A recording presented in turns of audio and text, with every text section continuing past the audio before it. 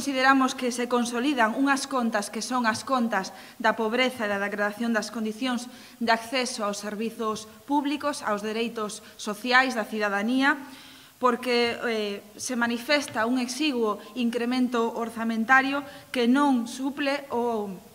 acumulado de recortes que acumula xa preto dun 21% dende o ano 2009. É dicir, é unha falacia eh, a recuperación económica anunciada, porque a pesares de que o Partido Popular non se cansa de trasladar uns datos macroeconómicos que, segundo eles, benefician pois a, a unha maioría social que non sabemos cal é, a realidade é que, a pesar dun 21% de recortes de todos estes anos, só se incrementa un 2,9% e, a, e todo iso cando temos unha previsión do IPC para este ano dun 1,2%, é dicir, dese 2,9 habería que detraer ese incremento incremento do índice de, de precios ao consumo. Un dato que é moi sangrante e que debería abrir os titulares da prensa. A pesar de que Galicia é a primeira comunidade autónoma eh, do consunto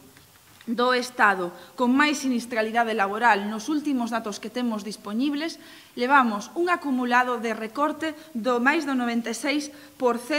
nas partidas que teñen que ver coa mellora dos sistemas de saúde e seguridade no traballo. Isto é indecente. Os traballadores e traballadoras no noso país non só teñen que soportar o paro, non só teñen que soportar eh, a, os recortes salariais e das condicións laborais derivadas das reformas laborais, sobre todo da última do Partido Popular, senón que, ademais, soportan unha sinistralidade laboral que se acompaña de máis recortes no que ten que ver coa seguridade no traballo e, polo tanto, non se están a tomar medidas relativas eh, á protección dos traballadores e traballadoras. Este é, polo tanto, o goberno que traballa en contra da clase traballadora e dos seus dereitos.